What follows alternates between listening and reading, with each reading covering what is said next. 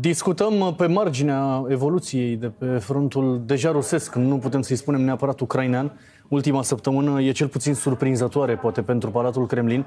A acceptat dialogul cu Euronews România comandorul Sandu Valentin Mateiu. Mulțumesc mult pentru prezență, cu respect. Vă mulțumesc, bună ziua! Cât de mare vedeți impactul uh, acestui atac surpriză? Nu mai e surpriză, nu mai suntem în primele ore ale intervenției, dar cu ce efecte, domnule comandor?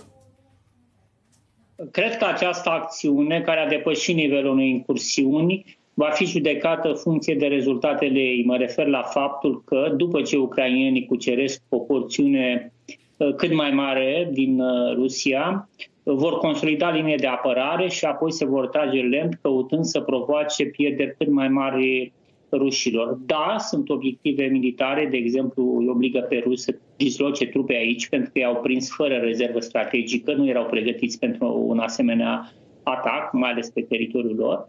Dar cred că efectul este și la nivel politic, în sensul în care uh, Kremlinul nu mai poate să prezinte acum Ucraina ca fiind uh, un stat care pierde încet în Donbass și nu poate câștiga. Pe de altă parte, această acțiune este limitată Ucraina a riscat rezerva strategică pentru acest atac și efectul va fi limitat. În final se vor retrage, este problemă de săptămâni, dar vor extrage un preț mare din partea rușilor. Ce înseamnă incursiunea pentru Vladimir Putin? La nivel de imagine și nu numai, bineînțeles. Uh, pentru Vladimir Putin este o lovitură serioasă pentru că a căutat să prezinte acest război ca fiind o acțiune militară undeva departe, pe care Rusia o câștigă indiferent între zile, în trei ani. Realitatea arată că războiul a ajuns pe teritoriul Rusiei și asta ucrainienii încearcă să demonstreze nu numai prin acțiunile militare și ceea ce fac în spatele frontului, ajutorarea populației, o administrație militară, foarte multă propagandă, acele imagini cu steagul rusesc aruncat pe teritoriul Rusiei, este Kursku. Uh, și cred că uh, la Kremlin uh, se pune problema războiul a ajuns la noi și ce face.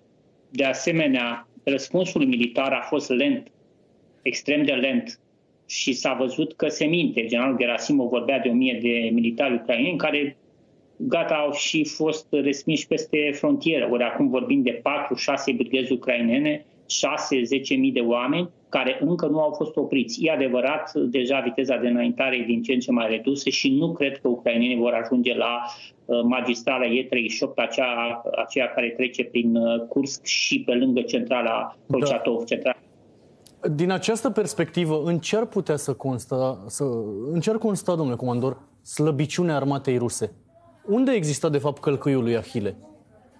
Călcâiul lui Ahile constă în faptul că ucrainii au demonstrat că armata rusă nu poate uh, face manevra și nu, pot, uh, și nu se pot apăra eficient în fața manevrei. În fond, ucrainienii au schimbat modul de război pe care îl impuneau rușii, cel de uzură, în care raportul de trupe și mai ales disponibilitatea unui părți de a risipi soldații partea rusă, raportul de artilerie și așa mai departe, Um, dădea câștigătoare, bine, cu viteză foarte mică de înaintare Rusia. Ori ucrainenii au schimbat și au demonstrat că și în condiții în care nu au superioritate aeriană pot, de, pot face manevra, fie și o, pe, o, pe o perioadă scurtă.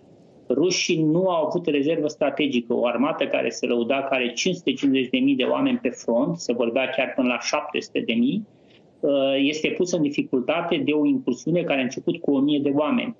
De asemenea, unitățile militare nu au făcut față, în sensul în care unitățile de grăniceri care țin de FSB nu au răspuns adecvat. Multe au uh, militari interni și aici este cuiul lui pe pelea. În Rusia, uh, Kremlinul este frică de uh, acea armată nevăzută a mamelor și de aceea s-a evitat trimiterea militarului în termen pe front. Hm. Uh, de asemenea, am avut o paralizia lanțului de comandă și control. Pur și simplu nu s-a răspuns la timp. Ba mai mult, Kremlinul a făcut o greșeală de proporții în sensul în care a decretat această operațiune, operațiune contrateroristă. Asta înseamnă că cei de la FSB, Brodnikov, care este loial, dar nu o capacitate militară, vor fi responsabili. Mai, mai mult și-a adus protejatul pe generalul Dumin, care este un uh, ofițer de pază și protecție. A fost bodyguardul lui Putin. Asta e și principalul calitate. A fost promovat bine la un moment dat la comandamentul GRU al... Corect. Uh, și uh, aș plusa, aș plusa cu permisiunea dumneavoastră, am aruncat un ochi pe presa internațională. într-un clip postat pe Telegram, o rețea socială folosită de milioane de ruși. Li se transmite acestora că în Kursk nu au intrat ucraineni, ci militari NATO echipați în uniformele acestora. Pe rețelele sociale ar fi distribuite mărturii ale unor locuitori din regiunea Kursk, care spun că au auzit vorbindu-se în poloneză, franceză și engleză la ei în sat, atunci când au intrat trupele ucrainene. Poate suntem uh, eminamente în sfera dezinformațiilor rusești, dezinformării?